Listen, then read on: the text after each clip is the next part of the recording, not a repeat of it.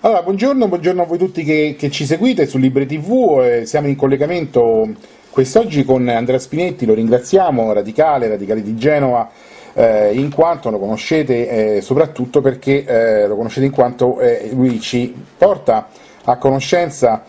degli aggiornamenti di una vicenda triste e lunga, purtroppo drammatica direi, che riguarda appunto tutta la questione dei danneggiati dalle trasfusioni del sangue infetto che coinvolge decine di migliaia di persone. Andrea Spinetti, un radicale, appunto, come ho detto, di Genova e fa parte del comitato promotori singui, eh, eh, comitato delle vittime del sangue infetto.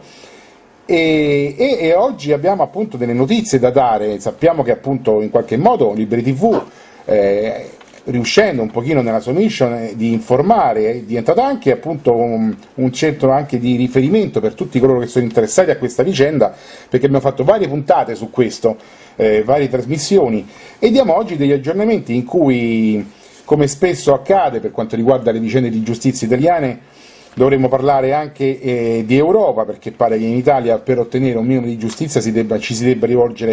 ci si debba rivolgere all'estero eh, e proprio da questo partiremo per poi tornare in Italia perché? Perché appunto abbiamo, partendo dall'Europa, appunto, una richiesta del Comitato dei Ministri del Consiglio d'Europa, una eh, pronuncia della, della CEDU e, e, a questo punto io darei subito la parola a Andrea Spinetti che, che inizia appunto a, a, informarci su questa vicenda che appunto coinvolge decine di migliaia di persone eh, veramente drammatica questa vicenda. A te Andrea, grazie di essere con noi su Libri TV ancora una volta. Grazie a te Gianni, grazie a Liberi TV che ci dà ancora una volta uno spazio di voce, eh, di voce che questa volta ha delle belle notizie visto dal punto di vista di noi malati, non tanto belle per lo Stato italiano che accingendosi a governare i prossimi sei mesi eh, eh, il Parlamento europeo, eh, si trova a dover rispondere a, un, a un'inottemperanza di una sentenza che dopo anni di battaglie ha sancito che le persone che ha, erano eh, state contagiate e avevano eh, riconosciuto il nesso causale, cioè tra patologie contratte e trattamenti subiti, eh, che sono solamente quindi quelle persone che o attraverso i tribunali o attraverso delle visite mediche avevano stabilito questo nesso causale, ebbene tutte queste persone, che sono circa 60.000, hanno diritto a ricevere eh, gli arretrati della rivalutazione monetaria dell'indennizzo, quello della legge 210, che è un indennizzo, ricordo, ecosolidale, che fu emanato nel 1992 in piena Tangentopoli per cercare di dare un minimo di sostegno a queste persone. Quindi non entra assolutamente nel merito del risarcimento del danno biologico, morale, esistenziale, tutto quello che comporta chiaramente eh, danno derivante da una pratica del genere. Pratica, ripeto, che eh, è coda di eh, comportamento doloso, comportamento doloso da parte di alcuni è sicuramente un comportamento di non ottemperanza, di non eh, di non osservanza di quelli che erano i principi eh, per la sicurezza vigenti nel periodo ingenoggiato che sono appunto gli anni 70, 80 e buona parte degli anni 90. Ora è chiaro che eh, ci troviamo di fronte a una situazione, e questa è la cosa veramente vergognosa, eh, che a fronte di un'agenzia ANSA, ancora stamattina, nessun giornale importante avesse riportato questa notizia per mettere al centro dell'attenzione questa problematica, problematica che peraltro è molto difficile nelle sue sfaccettature, nella, nella, nella, composizione di tutte le sue sfaccettature, anche perché, ricordiamoci, sono ben 27 anni che eh, da quando è stato scoperto praticamente esserci stato queste, questo, questo episodio, questo fenomeno che noi diciamo essere un'epidemia ma che lo Stato continua a negare, e per il quale oggi ci troviamo di fronte a una situazione dove il governo deve assolutamente prendere delle, delle iniziative e soprattutto dare delle risposte. Eh, tenuto conto del fatto che nel contempo che c'è questo giudizio in Europa che arriva sulla testa, tra capo e collo e sulla testa del Ministero del Governo, c'è anche un'altra eh, situazione abbastanza incresciosa sulla quale tra l'altro ringrazio il Movimento 5 Stelle che ieri attraverso eh, la deputata Maria Lucia Lorefice ha presentato un'interrogazione proprio in merito a questa vicenda perché mentre l'Europa ci condanna a pagare gli arretrati a tutti della rivalutazione monetaria dell'indennizzo è in grande incertezza su quello che invece sarà eh, il futuro dell'erogazione stessa del, dell'indennizzo, poiché, poiché praticamente dal 2010, grazie a una norma sempre di Tremonti, che probabilmente noi stessi malati ci stiamo un attimino dimenticati, eh, ha permesso che dal 2012 in sostanza le regioni non ricevono più i trasferimenti in materia per poter ottemperare a quello che è un obbligo di legge e alla garanzia soprattutto di un diritto sancito per legge nei confronti di un cittadino danneggiato da loro. E qui siamo, qui siamo, siamo tornati in Italia, Andrea. Siamo tornati, siamo in, tornati Italia. in Italia, e quindi siccome si parla appunto delle regioni e delle province autonome, ovviamente eh, che dovrebbero appunto, che sono state investite di questo, di questo obbligo, se non, non vado errato, eh, si in qualche modo ripropone, si rispecchia tutta quanta la differenziazione che poi spesso è a livello di latitudine da nord a sud del, eh, dei sistemi sanitari regionali, delle, delle, dell'efficienza delle regioni, quindi in qualche modo si realizzano delle disparità a seconda delle regioni in cui si è eh, residente, appunto le persone che hanno diritto a questi indennizi sono residenti, dico bene? Diciamo che le discriminazioni, eh, anche queste hanno varie sfaccettature. La prima discriminazione che io intendo stigmatizzare è che oggi in Italia esiste una parte di malati che hanno già ricevuto circa 20.000 euro a testa di arretrati, quindi hanno fatto eh, il Natale più che bene, e ci sono persone che sono pagate dalle regioni che oltre a non aver ricevuto i risarcimenti oggi sono ancora a, a dover eh, supplicare un intervento affinché il cinismo non superi quella punta di quel, quel, quel, quel livello di guardia e che non levi veramente la bombola d'ossigeno, stacchi il sondino a questa gente veramente esasperata. E scusami il, il, mio, il mio tono, la mia concitazione, ma per me questi giorni sono giorni importanti e non faccio altro che ricevere di, eh, telefonate soprattutto da cittadini calabresi, perché nella vergogna estrema perché fino ad oggi fortunatamente le regioni hanno solo minacciato la, la, la remissione delle deleghe, attraverso peraltro un comunicato, peraltro crea cooperazione per, per altri diritti, ma eh, anche sul comportamento delle regioni poi ci sarebbe molto da dire, perché se attuassero le regioni le prerogative che hanno eh, che, che, che, ne sono in appannaggio per tutelare gli interessi dei cittadini, invece non facessero favori politici al governo centrale, forse probabilmente non si sarebbe arrivati adesso a questo epilogo veramente vergognoso, perché eh, voglio ricordare che noi radicali, Comitato Vittime Sangue Infetto e la Luca Coscioni, questi problemi li avevamo già evidenziati ben un anno fa, in una conferenza stampa alla quale avevi partecipato anche te. Sì, sta tutto su Libri TV.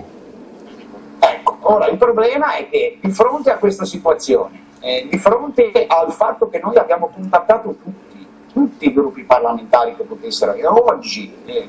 l'unica, l'unica, voce, l'unica voce, io mi spero, spero vivamente che, che, che, che, ci sia quella trasversalità tanto agoniata per il discorso transattivo, ormai praticamente per me morto, poi magari in un altro momento parleremo anche del discorso della transazione, ma direi che questo è un, un capitolo a parte, io mi vorrei concentrare su quella che secondo me è l'urgenza. E, ehm, ripeto, eh, Maria eh, Lucia Lorefice ha fatto ieri un'interrogazione e mh, l'interrogazione ha risposto orale in commissione, lo streaming chiaramente in commissione non è consentito, aspettiamo adesso il resoconto stenografico della risposta del governo. Ci aspettiamo chiaramente la, so la solita supercazzo, può anche essere che magari riescano a trovare i soldi necessari per ottemperare a, ripeto, questa che è una sentenza che mette in luce una vicenda dove insieme a quella dei detenuti l'Italia non fa sicuramente una bella figura. Anzi, direi che fa proprio una figura, lasciate il termine. sì, sì, no, senz'altro. Eh, poi in tutto questo si è poi anche inserito il cambio del ministro della salute, cambio, insomma no, anzi poi sarà una conferma, ma comunque eh, il ministro della salute Beatrice Lorenzin E poi ho saputo appunto che ci è stata anche una, una petizione, se non sbaglio, una petizione online. Ecco, ce ne vuoi parlare? Di sì. che si tratta? Sì, come Comitato Vittime Sangue Infetto abbiamo lanciato una petizione su, su Change eh, affinché un appello praticamente al Ministro della Salute,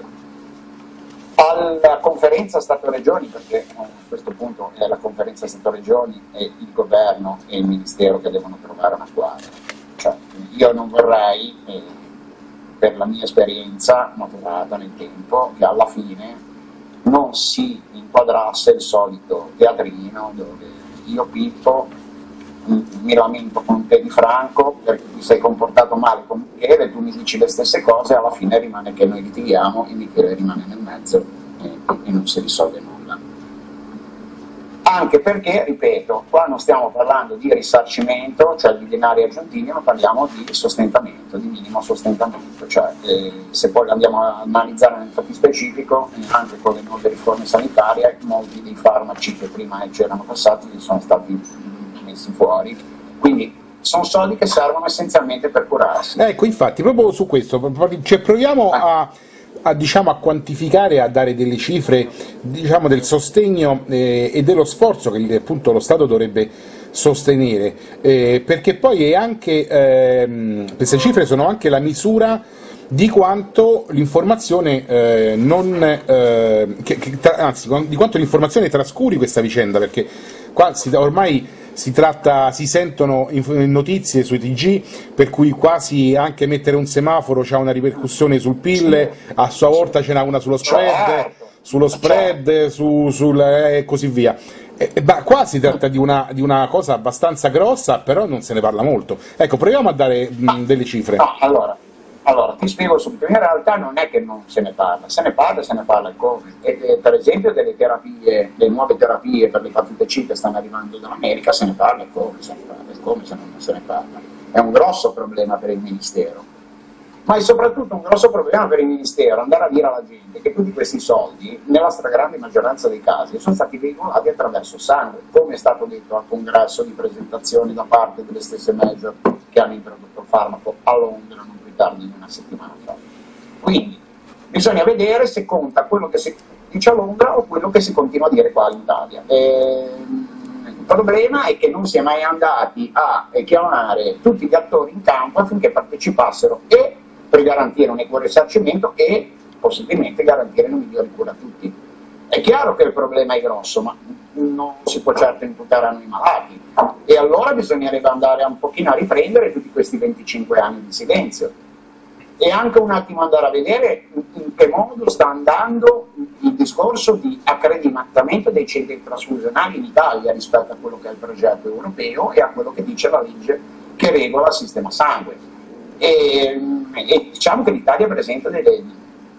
delle, delle, delle zone di luce e ombre, poche luci e molte ombre. In realtà, in realtà l'inadeguatezza dei sistemi trasfusionali, perlomeno in materia di, di, di raccolta sangue perlomeno in materia di emoderivati, lascia, eh, lascia in mano una situazione che fondamentalmente non è che sia molto cambiata rispetto a 25 anni fa. Eh, sicuramente sì,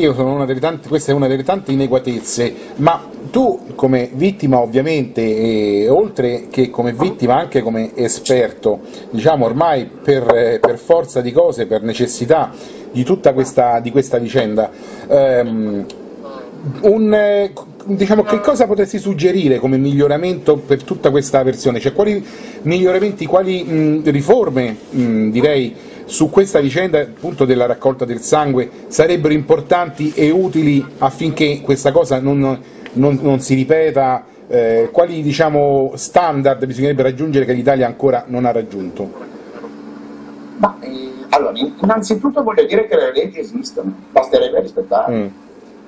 e non voglio dire altro, perché se no dobbiamo fare tre ore di trasmissione e alla quale chiaramente si parla di argomenti del genere avrei piacere che fossero presenti persone sicuramente più ferrate di me nel senso tecnico. Eh, abbiamo anche quelle persone a disposizione, eh, persone emofile come me che peraltro sono anche coinvolte, questa è l'altra notizia che volevo dire,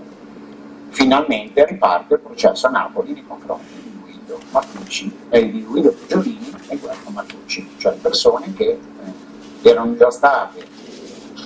eh, accusate o imputate di epidemia a Trento e a Napoli, procura dove poi andò in prescrizione, sappiamo anche in che modo vergognoso andò in prescrizione. Questo processo serve a dare giustizia alle morti e non ai contagi. Diamo un'informazione, un processo per quale reato si contesta? Omic- omicidio colposo plurimo con imputazione coatta. Mm. Quindi eh, è un processo che teoricamente non può andare in prescrizione perché si rinnova continuamente, cioè teoricamente se muoio io, mia madre, o se muore mia madre io, o se muoio io, mia madre e mia moglie, si costituiranno parte civile a Napoli nel processo in corso. Eh, considera che mediamente ne stanno morendo di emofilici 5-6 l'anno, come è nel comunicato che è stato fatto recentemente appunto da questo gruppo di emofilici, che ringrazio tenacia, perché se oggi esiste ancora un barlume di, di giustizia grazie all'iniziativa di alcuni, ringrazio il mio avvocato eh, Stefano Bertone, quindi eh, la situazione oggi pone di fronte a un, un problema, ma saranno risarcibili tutti questi danni? Eh, e possiamo eventualmente allargare questo, questo caso scuola a tutti, casi, a tutti, gli altri casi che stanno venendo fuori, ma anche che, che sconfinano dal discorso del contagio. Parliamo di danni che, che causano, cioè di, di reati che causano danni lungolatenti. Vogliamo un attimino fare una legge dove giochi un pochino meglio sulla prescrizione, almeno che faccia da deterrente perché se poi alla fine tutto si risolve in delle sanzioni oppure in, in, processi lunghi dove poi la prescrizione interviene e alla fine non si fa mai giustizia, eh, io direi che di soluzioni non se ne trova. Insomma, eh,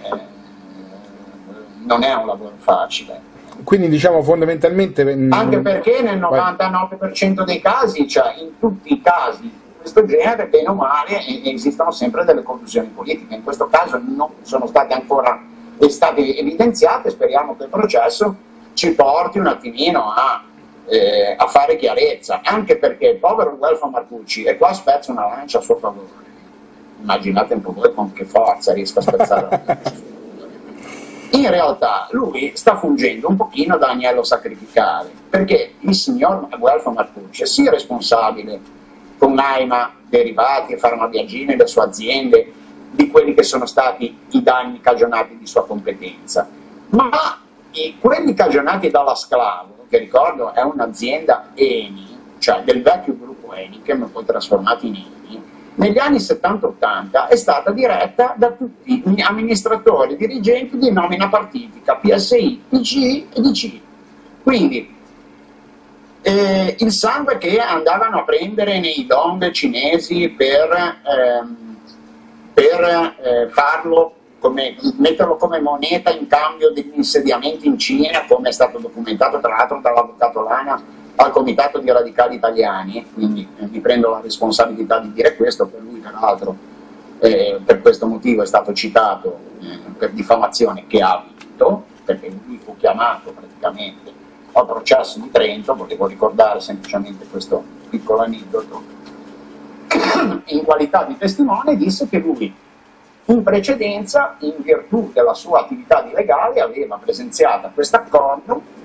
quindi si trattava di cosa completamente diversa dal discorso del sangue, al quale si ci dedicò dopo. Parliamo quindi di insediamenti probabilmente fino agli anni 70, primi anni 80, Ecco, la Cina era solita concludere le sue transazioni commerciali dando soldi e dando soldi non ne aveva, dando, dando sangue raccolto nelle carceri, nei loro donde, che poi causò anche la famosa strage del sangue feto che in Cina ha fatto, fatto veramente degli scempi, tra l'altro, poi fu hanno delle code, puoi immaginare dei civili, umani, come possano essere tutelati in quel paese. E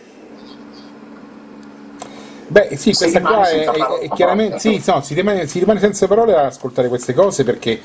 eh, effettivamente, dato, quando ci sono questi, questi diciamo, contatti internazionali, poi si viene a contatto anche con realtà che sono realtà di provenienza dove i diritti umani ovviamente c'è una percezione diversa rispetto ai paesi occidentali E quindi ci sono delle aree di confine in qualche modo di, eh, giuridiche e qui poi bisognerebbe poi avere degli adeguamenti, delle, delle, delle adeguamenti nel senso di eh, precauzioni eh, che evidentemente, dato quello che è successo, non sono state prese. Ma vedi, il problema è questo qua. Eh, quando vivi in un paese dove il controllore è controllato nel 99% dei casi coincidono, il discorso della, del controllo, perché io, io quello che sento in questi giorni, al di là del sangue, sento sempre dire controlli, controlli, controlli, controlli, controlli, e nominano questa gente che controlla, controlli, controlli, e non si riesce mai a risolvere nulla. Cioè, eh, un esempio fatti specifico nel mio caso, e torno a quello che è successo un anno fa. Esce fuori, tra l'altro, da un giornale seconda battuta, mm, mm, con tutto il rispetto che ho della persona che è un ottimo professionista, ma non è certo né Corriere della Sera né la Repubblica né la stampa, viene fuori la notizia del famoso ritiro in Toscana eh, per due lotti di plasma e risultati dopo un anno e mezzo dalla raccolta, e anche lì ci sarebbero da farsi delle domande di come mai sta così tanto in stoccaggio il prodotto. E, insomma, risultato positivo al virus dell'epatite C mentre stava andando, cioè, o era già in fase di produzione derivato. Di questo fatto se ne accorse la Chele. Ora dico lui. E già questo sarebbe sufficiente per far gridare allo scandalo, perché non è possibile che in controllo, cioè uno si accorga che il virus è positivo quando sta già andando in lavorazione. E questo è un, è un discorso che... Ma la cosa più angosciante è che di fronte a una nostra richiesta attraverso il giornale, cioè di fare chiarezza, perché sul plasma intero esiste una parte che tu puoi anche stoccare perché viene mandata in produzione, ma esiste una parte, quella attiva, cioè globuli rossi e piastrini, che probabilmente sono più andati. Quindi, anche se tu hai ritirato il plasma che è andato in produzione, quella parte corpulenta, cioè quella per la terapia d'urgenza, è già andata quindi tu ti devi affrettare ad andare a vedere a chi è andata questa cosa qua. E se c'è da dargli un indennizzo perché ha contratto un'epatite C o un AIDS, glielo dai. Non che vanno alla ricerca del donatore. A parte il fatto che il donatore dovrebbe essere conosciuto, avere tutti i suoi screening, addirittura dovrebbe esserci addirittura una bacchetta, cioè una sorta di emoteca, dove tu sei in grado in tempo, il Friuli fa così, il Veneto fa così, perché le altre regioni no? La Toscana, tra l'altro, che è una regione virtuosa, cioè perlomeno nel, nel, nel, nell'immaginario popolare viene considerata, eppure la Toscana, oltre a questo episodio, anche due morti, un a Orbetello, ora non mi ricordo, ma comunque se venite sulle nostre pagine tutte queste cose le trovate. Eppure io non ho mai sentito un telegiornale che parlasse di questa vicenda quindi questa è una vicenda grossa, non a caso fu detta questa è la più grande transazione tra eh, cittadino e Repubblica della storia della Repubblica Italiana. Se si fa questa transazione, se no diventa la più grossa vergogna della Repubblica Italiana, automaticamente. Il problema del denaro è che nessuno si è mai preoccupato di andarlo a chiedere a chi lo doveva mettere Posso dare io dei suggerimenti? Io, noi gli abbiamo dati i suggerimenti alle varie procure alle quali ci siamo, ci siamo rivolti. Non è mica successo mica niente. Eh sì, perché qua si parla di decine di migliaia quindi, di persone, quindi insomma la cosa è veramente... Quindi noi alla fine, alla fine dobbiamo solamente contare su un giudice che nel momento in cui ci sederemo davanti a lui per analizzare il nostro caso, deciderà in maniera autonoma perché non esiste una, una legge di riferimento per i danni da contagio quindi, eh,